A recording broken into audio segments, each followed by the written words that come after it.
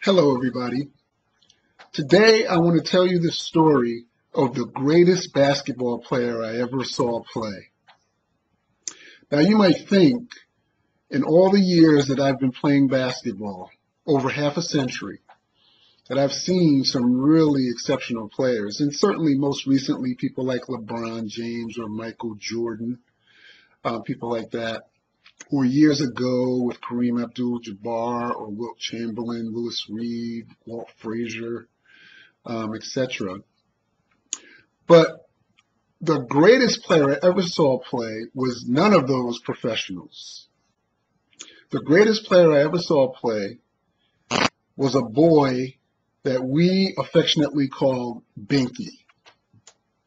And my association with Binky started when I was in elementary school. And when I was in elementary school,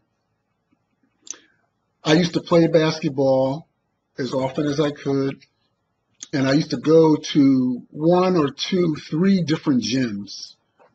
One in my community, a gym that was in a neighboring junior high school, and a gym at the Boys and Girls Club.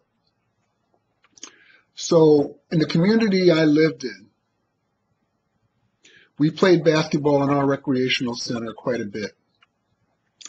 And every now and then, a group of people from a neighboring community that we called the Orton Street community would come and challenge the older boys from my community. And that was the first time that I had seen Binky play.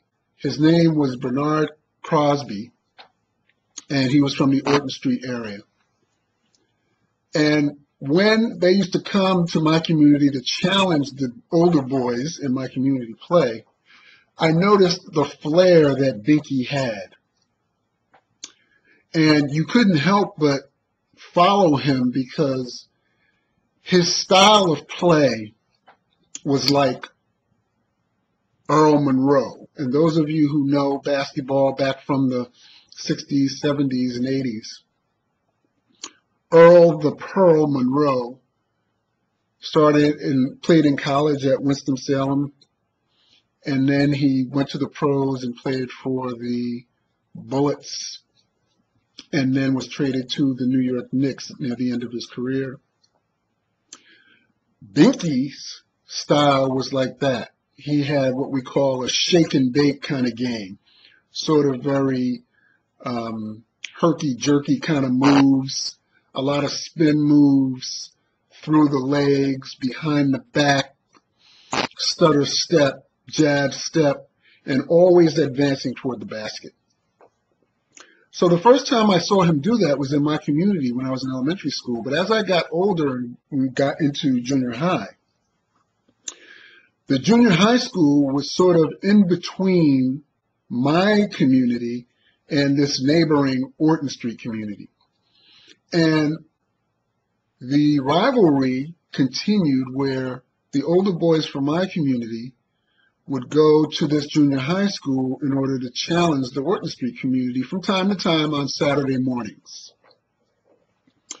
So I remember going to many Broadway Junior High School gym Saturday morning challenges of my community versus Orton Street, where Binky would lead the way for his team and always steal the show with his flamboyant, herky-jerky type moves. He was so sensational that he's the only player that I can ever say made me anxious to want to see him play. Now, I've watched LeBron James on television and I've watched Michael Jordan do amazing things throughout the games as well as win games at the last second over and over again. But never have I felt anxious to want to see a player as I did in anticipation for wanting to go and watch Binky play. I just want to describe a little bit what Binky could do that made him so great in my view. and so unlike any other player that I've played with. And again, as I've said, I've played with or certainly seen all the great players in basketball in the last half century, but also have played with many great players myself, which include um, the great Ray Allen. I'm currently playing for the Miami Heat. I've played with Vin Baker, former NBA All-Star. I've played with John Shumate. I've played with Sly Williams from the Knicks. I played with David Rivers, who was the backup for Magic Johnson um, for um, the um, Los Angeles Lakers for um, several years. I've played with Cuttino Mobley, who was the starting point guard for the Houston Rockets.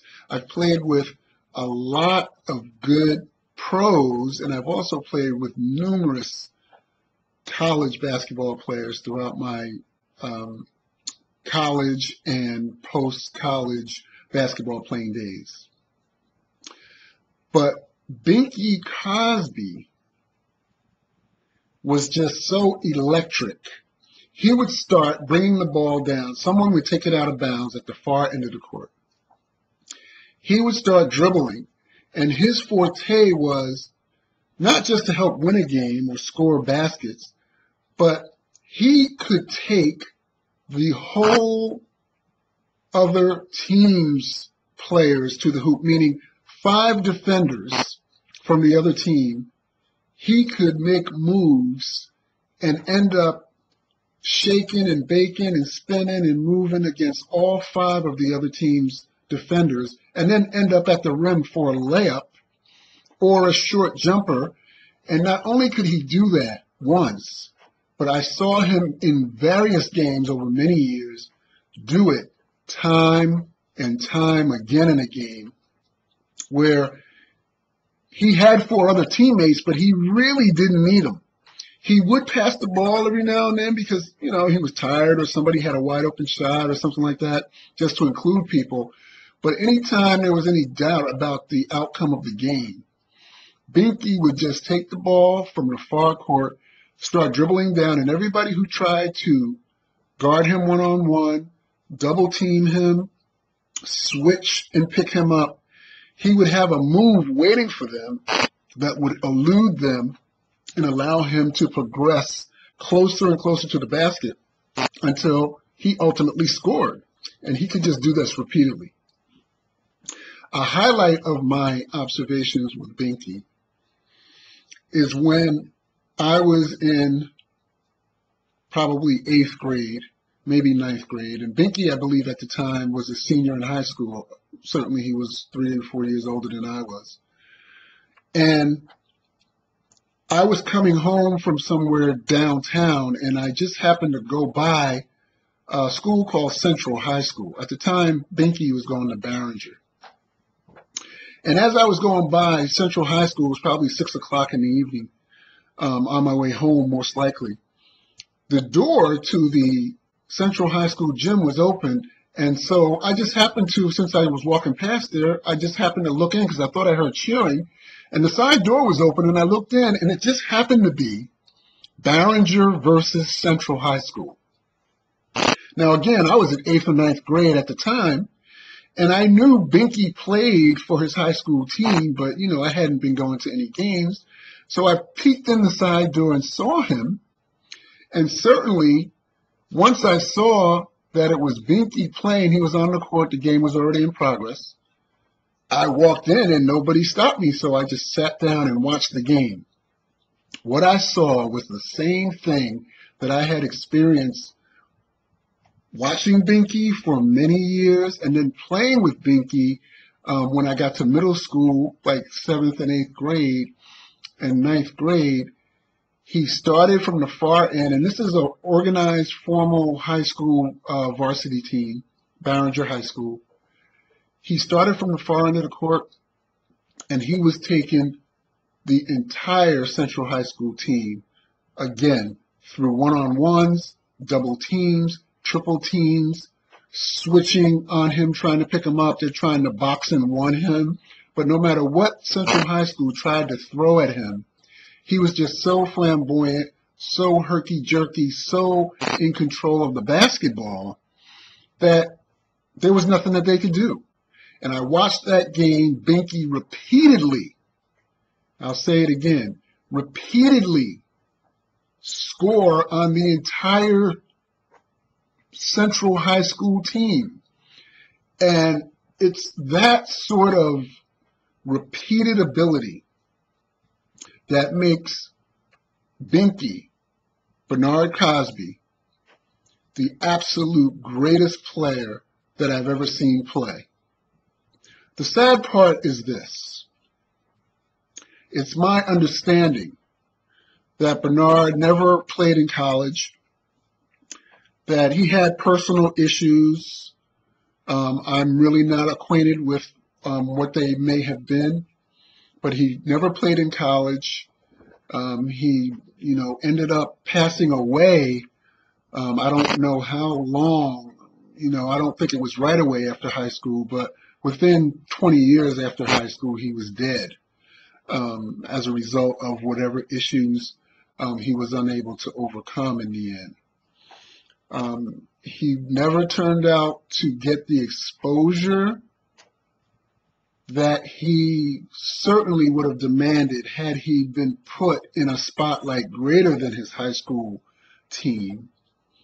I'm sure that with what I saw, if he were put on a stage of college, um, he certainly would have been another, if not the Earl the Pearl Monroe, um, but in a class of his own. Because even though Earl the Pearl, as I mentioned, was the closest player that I know to the style of game he played, Binky was better at those types of moves, in my view, than Earl the Pearl.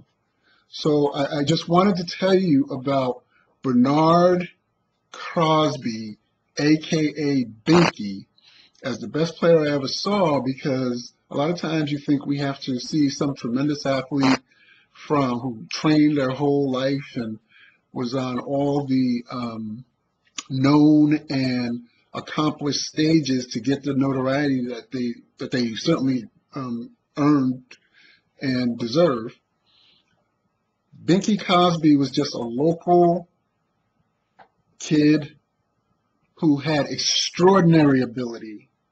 And there may be people like that, not necessarily just in basketball, but in other things that are right around you and you probably see on a regular basis and may take for granted. I don't know. Um, in my case, Binky Crosby wasn't someone who I took for granted, but you certainly could not ignore his game. Um, for you to see him play, you would remember him. And I know I used to make special trips when I knew he was going to be playing in just pickup games in one of the three communities that I described my community's recreation center, the um, junior high school gymnasium that was sort of in the middle of our two communities, the Orton Street community where Binky lived and my community, or the Boys and Girls Clubs um, gymnasium. When I knew he was playing, I made special arrangements, reorganized my schedule to go see him play. And here we are now, half a century, a little less than half a century later, and he still remains the greatest basketball player I've ever seen.